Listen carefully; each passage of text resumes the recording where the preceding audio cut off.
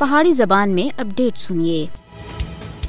مقبوضہ جموں کشمیر وچ عوام کسی قسم دا انتخابی ڈرامہ نہیں بلکہ رائے شماری دے واسطے آخرین۔ کشمیری عوام بھارت تے سیاسی نظام دے اتے یقین ہی نہیں رکھتے اور او کئی سالاں دے صرف اپنے حق خود ارادیت دے واسطے جدوجہد کر رہے ہیں۔ بھارت بین الاقوامی برادری کو گمراہ کرنے دے واسطے مقبوضہ جموں کشمیر وچ انتخابی ڈرامے رچا رہا ہے، لیکن کشمیری عوام دا ان نام نیاد انتخابات تے کسی قسم دا کوئی بھی لین دینا نہیں ہے۔ کشمیری عوام آج تک بیش با قربانیاں انتخابات کے واسطے نہیں، بلکہ اقوام متحدہ دی منظور کیتیاں ہوئی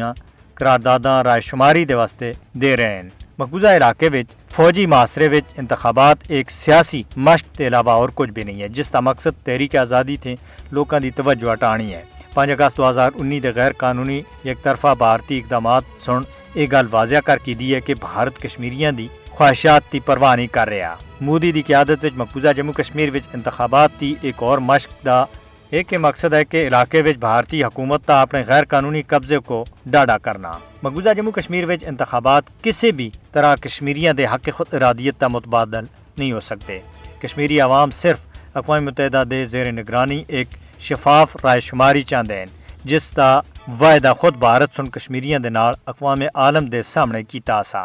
تنازع کشمیر ایک حل طلب سیاسی مسئلہ ہے، جس کو طاقت کے بجائے ترواں فریقاں کشمیریاں، بھارت اور پاکستان دے بچکار افہام و تفہیم اور